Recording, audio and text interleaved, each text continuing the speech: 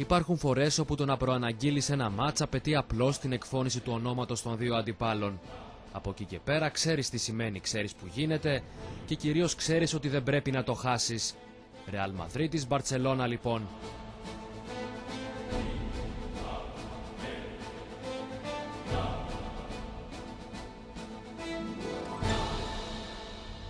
Η περσινή χρονιά η αλήθεια είναι πως δεν μας στέρισε το El Clásico.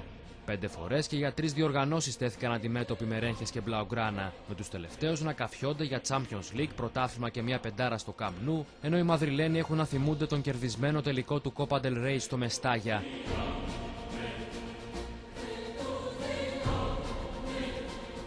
Η χορταστική από ντέρμπι σεζόν 10-11 ήταν ακόμη ένα λιθαράκι στο τείχος που χτίζεται ανάμεσα στις δύο. Ρεάλ και Μπαρτσελώνα όμως θα έχουν πάντα μια σχέση αγάπης μίσους. Αγάπης γιατί η μία δεν θα υπήρχε χωρίς την άλλη, έστω και αν η εν λόγω αγάπη στριμώχνεται σε εισαγωγικά. Πάντοτε η Ρεάλ θα παρασέρνει την Μπαρτσελώνα και η Μπαρτσελώνα θα τραβολογάει τη Ρεάλ.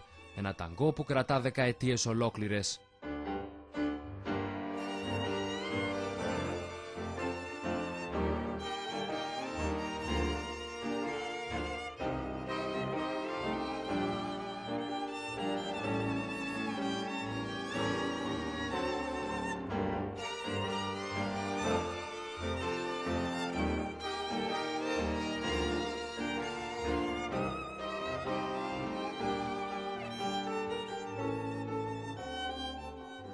Αν και ενδεχομένως να έχει μικρή σημασία, η Βασίλισσα έχει την προϊστορία με το μέρος της και ως γηπεδούχος 50 νίκες στο ενεργητικό της.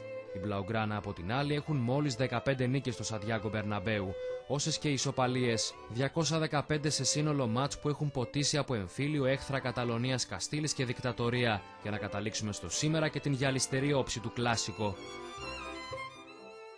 Και να που φτάσαμε στη 10η Δεκεμβρίου του 2012. Ρεάλ και Μπαρσελόνα τίθενται αντιμέτωπες στο πλαίσιο της 16η τροφής της Πριμέρα Division, σε ένα πρωτάθλημα που μοιάζει λίγο διαφορετικό από αυτά των τελευταίων ετών. Σε θέση οδηγού οι Μαδριλένοι παρουσιάζονται φέτος πιο έτοιμοι να κατακτήσουν τον τίτλο από ποτέ στις μέρες του Μουρίνιο. Με 37 βαθμούς, η πρωτοπόρος Ρεάλ δείχνει σίγουρη και επιβλητική, σε αντίθεση με την Μπάρτσα που με επιπλέον μάτς υπολείπεται 3 πόντους και μπόλικη αγωνιστική αξιοπιστία. Από την πλευρά του, ο Ζωσέ Μουρίνιο φαίνεται να βρίσκει φέτος τη μαγιά που έλειπε ανάμεσα από τα πολλά αστέρια της Βασίλισσας, τα οποία όλο και περισσότερο θυμίζουν σύνολο. Όσον αφορά την υπόθεση κλάσικο, ο Πορτογάλος έχει προσθέσει στην κόντρα μια διάσταση που τα τελευταία χρόνια έλειπε. Καλός ή κακός.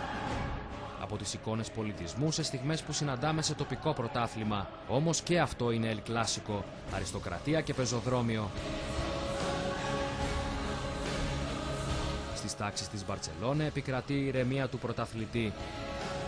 Μπορεί το στραβοπάτημα να έχει μπει φέτος για τα καλά στο πρόγραμμα των Καταλανών, όμως η Μπάρτσα έχει κερδίσει το δικαίωμα να κοιτά τέτοια μάτσα φιψηλού, όσο γίνεται τουλάχιστον. Σημαντική ψυχολογική ένεση, η ανακοίνωση του ονόματος των Μέση και Τσάβη στην κορυφαία τριάδα του 2011 σύμφωνα με την FIFA.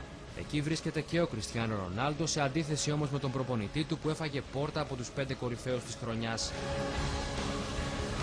Αγωνιστικά οι δύο ομάδες αντιμετωπίζουν λίγα προβλήματα. Ρίκη Καρβάλιο για τους γηπεδούχους και Ιμπραήμα Φελάη για τους φιλοξενούμενους θα δουν το μάτς σε δύο εκ των 80.354 θέσεων του Σαντιάγκο Μπερναμπέου. Αυτοί είναι οι πιο τυχεροί, γιατί οι θεατές δεν θα περιοριστούν στο μαδριλένικο γήπεδο. Εκατομμύρια κόσμου σε κάθε γωνιά του πλανήτη ανυπομονούν να παρακολουθήσουν δύο γίγαντες του παγκόσμιου αθλητισμού να γράφουν ιστορία. Αυτό θα γίνει και απόψε, με την υποσημείωση ότι η ιστορία σχεδόν πάντα θυμάται μόνο τον νικητή και ειδικά όταν μιλάμε για Ρεάλ και Μπαρτσελώνα, ο δεύτερος είναι απλώς ο πρώτος χαμένος.